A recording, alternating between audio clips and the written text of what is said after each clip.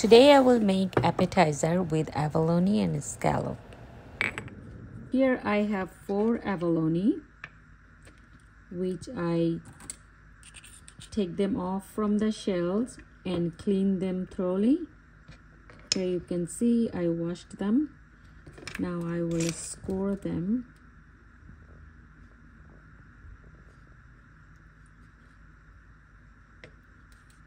and then poach them in the butter.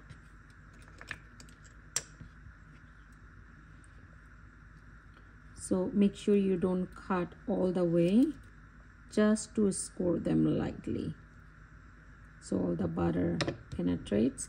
Also I have two cloves of garlic which I will make like four slice four slices here and I will confit this garlic with the abalone at the same time in the fry pan. Here I have a skillet and on medium heat I, I, I'm just melting this chunk of butter.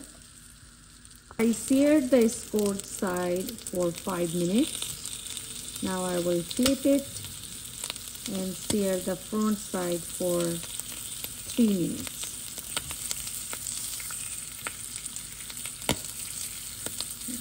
Looks like my garlics are done. So I'll just put them up.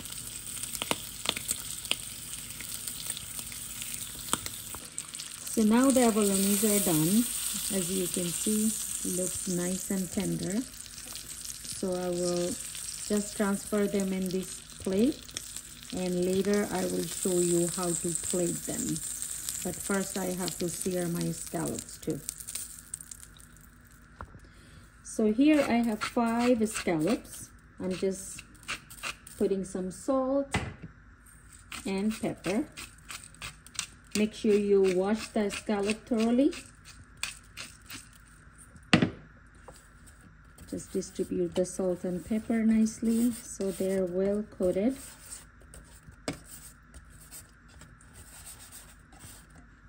So now on medium high heat, just put the scallops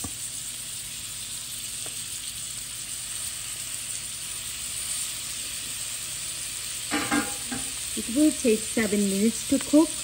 After four minutes I will flip them. It's been four minutes. Now I will flip them. You see nice golden crust that's all the flavor there So now I will sear them for 3 minutes.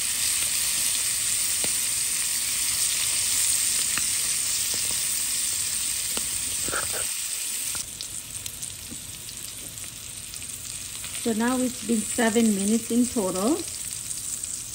My scallops are done. You can see they firmed up. So now I will transfer them in a plate.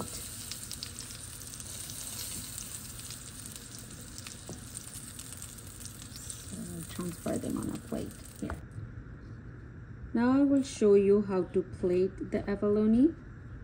So today I'm making the appetizer plate.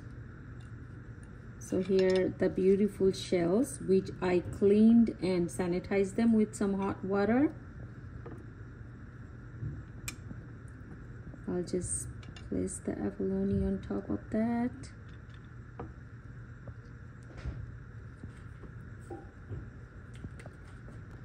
I will also garnish them with some fennel and saffron sauce.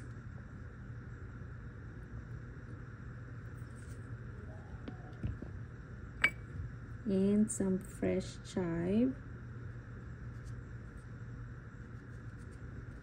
And here I have the scallops.